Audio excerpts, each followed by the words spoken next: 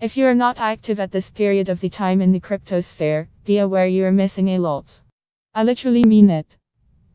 Last couple of days there have been surge of several components in crypto, which is shaking the market in ways which were completely unexpected.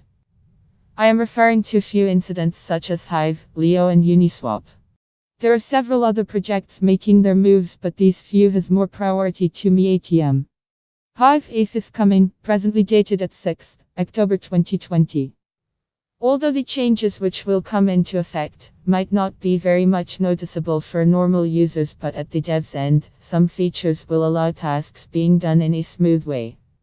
The latest update from Blocktrades slash slash peak com slash hive minus 139,531 slash at Blocktrades slash hardfork minus 24 progressive yacht minus 6 will give some idea of what is actually happening ATM. While as I was reading a post of at Taskmaster here, slash slash peak, com slash hive minus 167,922 slash at taskmaster slash why I'm optimistic about it, I must say, a chill goes through the spine lol.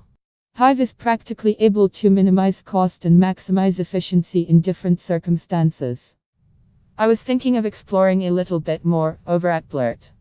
Yeah, the chain that forked from Steem, which eventually added a fees for each and every tax. I have not started there yet, but the fact that Hive is feeless, in terms of transactions, gives it a plus point even before when I start to compare them both.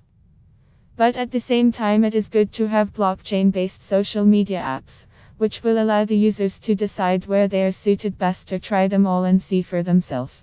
As so I've heard, Hive is a hub for developers to try out different ideas and implement them on the chain in easy terms. From what I think, we do lack in promoting the chain into the people outside of our chain.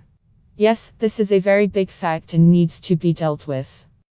We have DAO funds and also assets which can be utilized in our favor for the chain. Supposedly, few entities will come up with good ideas in the future for sure.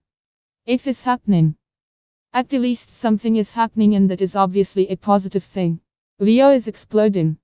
Over the past couple of days, Leo has been the talk of the town. It is impressive how Leo tribe has overcome all the hassle and is forging its path to glory. Among most of the tribes that we have seen, Leo has been the most successful one.